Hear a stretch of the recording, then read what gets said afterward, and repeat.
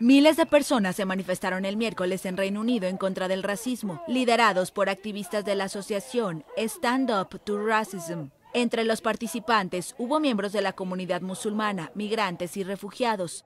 Las manifestaciones se realizaron de manera tranquila en diferentes ciudades como Bristol o Liverpool. Sin embargo, en algunas ciudades hubo tensiones esporádicas entre antirracistas y grupos contrarios a los migrantes.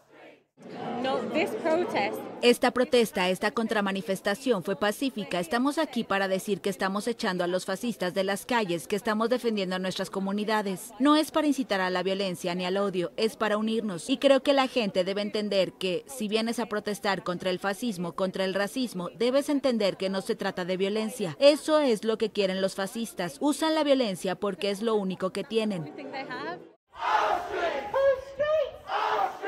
El gobierno del laborista Keir Starmer había ordenado un fuerte despliegue policial con 6.000 efectivos ante posibles disturbios. Desde hace una semana, Reino Unido vive violentas protestas que el gobierno afirma son de extrema derecha, luego de que tres niñas fueran asesinadas en Southport, en el noroeste de Inglaterra.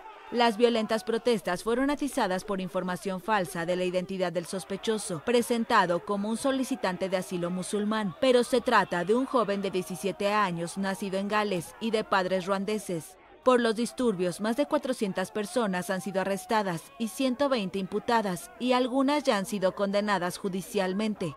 Según un sondeo publicado por Savanta el miércoles, un 67% de los británicos se preocupa por el auge de la extrema derecha, mientras que YouGov señala que la inmigración es el principal desafío de Reino Unido para el 51% de los encuestados.